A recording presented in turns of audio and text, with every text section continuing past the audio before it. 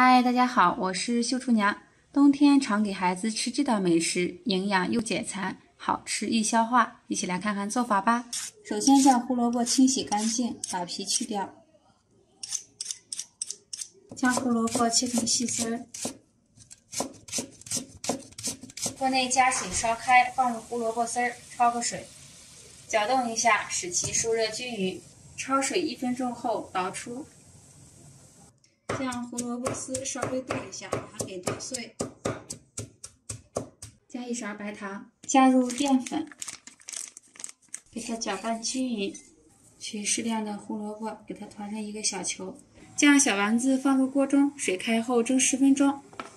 一道营养美味的胡萝卜水晶球就做好了，Q 弹爽滑，孩子超爱吃。喜欢的朋友赶快试一下吧！我是秀厨娘，喜欢我分享的视频就帮我转发吧。谢谢大家，下期见。